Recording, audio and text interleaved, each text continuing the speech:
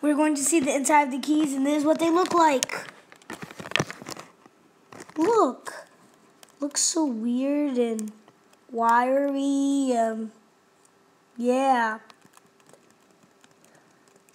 Not going to say bye today, guys, so I'm going to be rude today and not say bye. So the inside of a key, every key looks like this. This is just like to label it. I'm like, I don't know what this is. I remember what it is, the enter key. If I don't, I have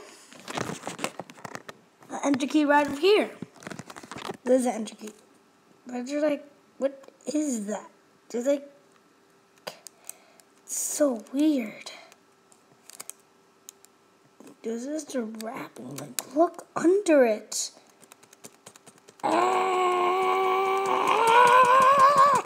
Anyway, bye.